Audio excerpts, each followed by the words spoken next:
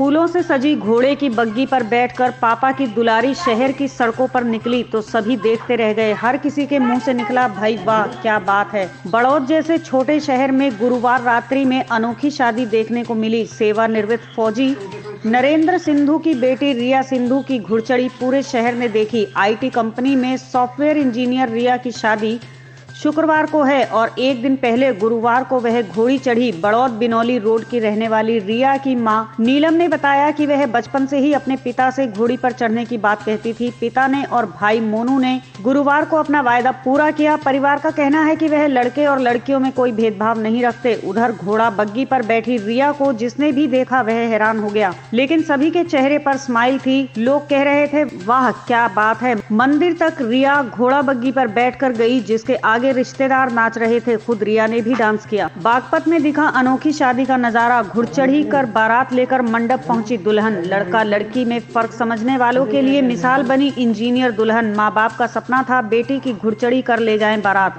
DJ की धुन पर नाचते घुड़चढ़ी कर मंडप में पहुँची दुल्हन, बनी चर्चा।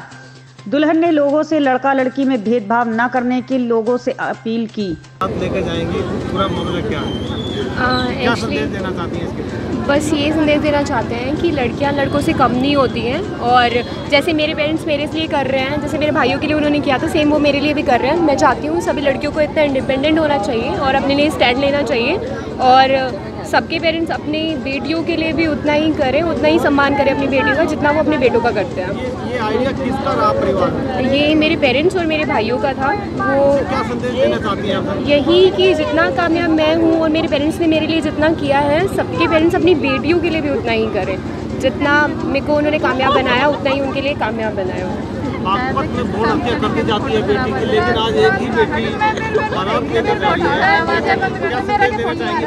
बेटी अव्वल है पहले। लड़कियाँ किसी भी लड़के से कोई कम नहीं है और लड़कियों ने हमेशा अपने पेरेंट्स के लिए उतना ही किया है जितना कि उनके बेटों ने उनके लिए किया है।